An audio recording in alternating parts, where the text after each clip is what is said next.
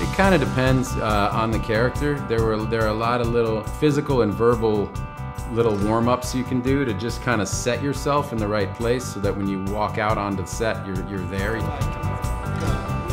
You don't have to find it during the day. You know, it's ideally you'd like to find it find it before you get to work. you know. Action. Action. It's such a specific subculture, the uh, this roughneck culture down in, in Oklahoma.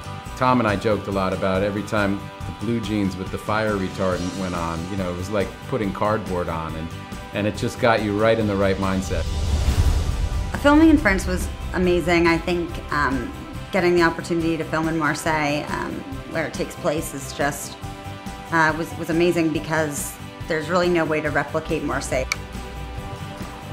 I always make like a playlist um, for each role that I listen to on the way to uh, work.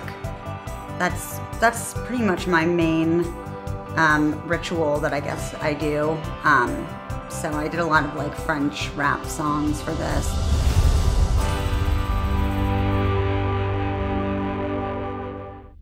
Stillwater. You're the father of the American student?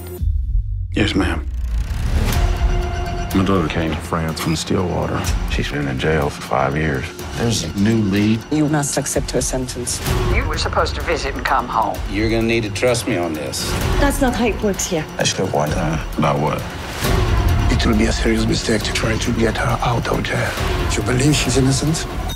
I know she is. Stillwater. Rated R.